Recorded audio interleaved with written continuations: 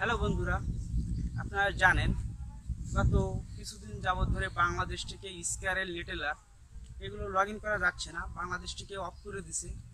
এই কারণে বাংলাদেশ থেকে স্কারেল লিটেলারে লগ করা যাচ্ছে না। আমি আপনাদের এই বিষয়ে কিছু কথা বলব, কেন অফ করে দিচ্ছে বাংলাদেশ থেকে স্কারেল নেটেলার এবং এটা খোলার সম্ভাবনা আছে কিনা?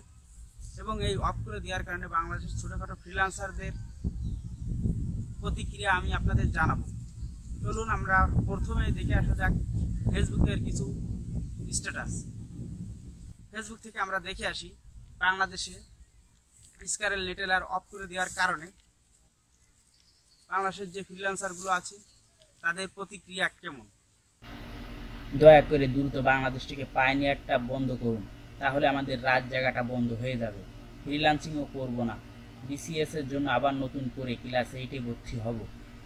জেএসসি থেকে আবার নতুনভাবে শুরু করব। স্ক্রিল নাই পেপাল নাই, কি দরকার পাইনিয়ার রেখে? মার্কেট প্লেসের বাইরে যারা কাজ করে, তাদের জন্য পেমেন্ট আনাটা কতটা ঝামেলা, সেটা আর নাই বা বললাম। জোয়ার অজুহাত দেখাচ্ছেন। তলে হাত দিয়ে দেখেন, দেখবেন আইনের মানুষ টাকার বিনিময়ে তাদের পারমিশন দিচ্ছে। এইগুলো চালিয়ে যেতে। যাই হোক, আশা করি সব কিছু বন্ধ করবেন না। হলে ভালোভাবে খুলে দিবেন। এইভাবে সব কিছু বন্ধ করে কোনো সমাধানে আসা যায় না। এমডি রাসেল স্ক্যারেল কোনোভাবেই ঢুকতেছে না। প্রথমে ভাবছিলাম খবরটা মিথ্যে, কিন্তু এখন কিছু বলার নেই। বন্ধ করা হলো, কিন্তু এতগুলো ডলার তার কি হবে?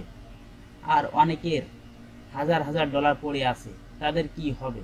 বাংলাদেশ ছেড়ে কি অন্য জায়গায় যেয়ে কাজ করতে বলছে নাকি?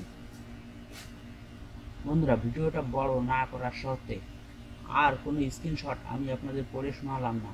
আপনারা ফেসবুকে অথবা গুগলে যে কোনো জায়গায় স্কেলের নিয়ে সার্চ দিলেই আপনারা দেখতে পারবেন এই বিষয়ে বাংলাদেশের ফ্রিল্যান্সারদের কিছু মতামত।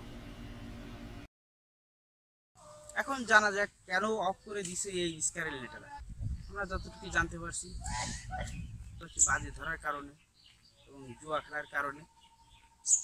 এই বন্ধ করে দেওয়া হয়েছে। তাছাড়া মানি লন্ডারিং এর একটা প্রশ্ন এখানে উঠছে যে, বাংলাদেশ সরকার ব্লেম করছে?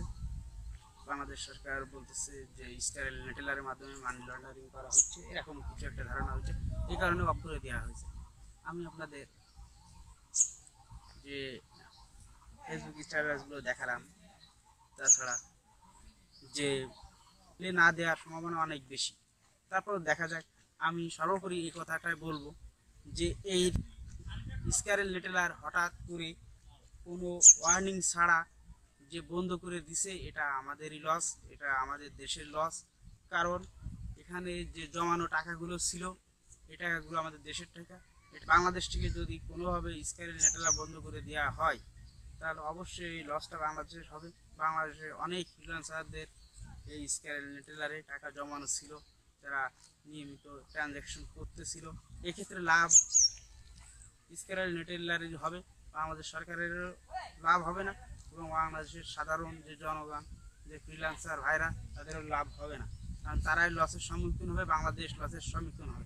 আমি মনে করি বাংলাদেশের কিছুদিনের জন্য হলেও এটা খুলে দিয়ে উইথড্র দেওয়ার সুযোগ দেওয়া হোক, বাংলাদেশের যে ফ্রিল্যান্সার ভাইদের টাকা জমানো আছে, তাদের উইথড্র দেওয়ার সুযোগ দেওয়া হোক তাহলে এই টাকাগুলো বাংলাদেশ ব্যাংকে ঢুকবে এবং বাংলাদেশ সরকারই লাভবান হবে।